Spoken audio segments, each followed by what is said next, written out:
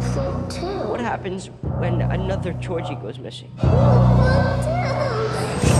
Or one of us?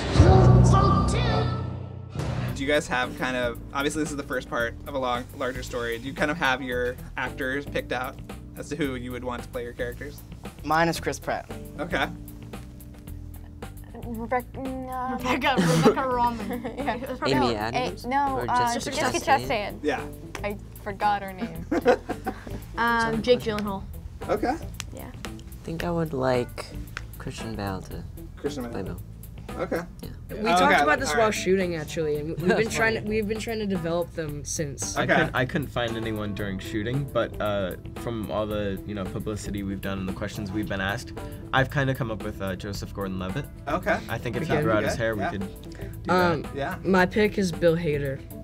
Nice. I For like sure. that. I That's like great. that one for me. Yeah. Um. Chadwick Boseman. Oh, awesome. Yeah. Yeah, Of course, Come you on. have good. Black Panther. Come in it. You on, got it. You got it. It's so good.